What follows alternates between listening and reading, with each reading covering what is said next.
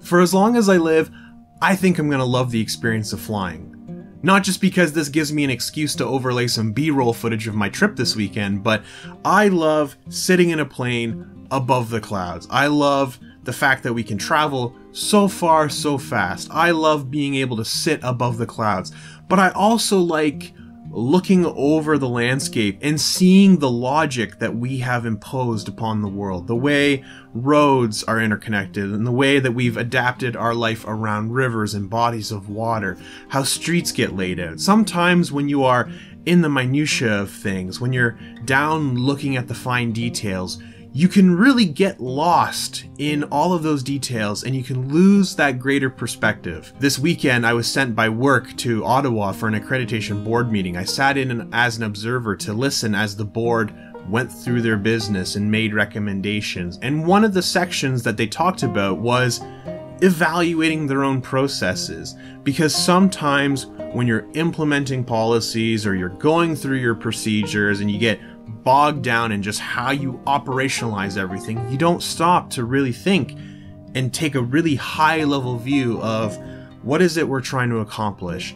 What does success look like to us? And are the things that we are doing moving us closer to that goal? Or are we just starting to get hampered down by our own goals and our own objectives and losing sight of that greater perspective. As a group this weekend, we were able to gain further perspective. The president of Engineers Canada told a story of how in the 60s, when all of the deans of education got together, they had one goal in mind. How do we help our students get their licenses when they leave our institutions? How do we help those regulators accredit and ensure that the educational process is good enough across the country so that our students can easily go get their license and become professionals within the industry. At my institution, we get sometimes so focused on ensuring that our curriculum will pass accreditation and that our pedagogy and our methods are all sound that we have to remember that this was set up to ensure that regulators are comfortable with our programs and that our students can have confidence in the education that they'll receive.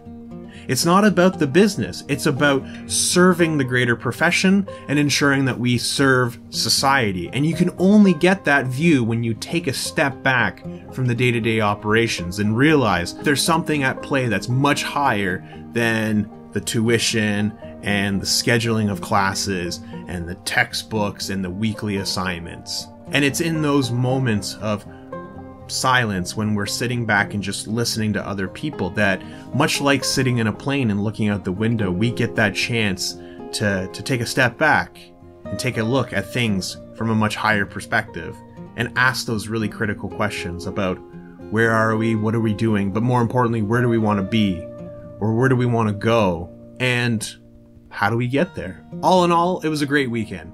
My boss and I flew to Ottawa, met some great people, and had some wonderful conversations. But I've been in these clothes for like two days, and I think it's time for me to stop rambling at a camera. Thanks for stopping by, and don't forget, stay awesome.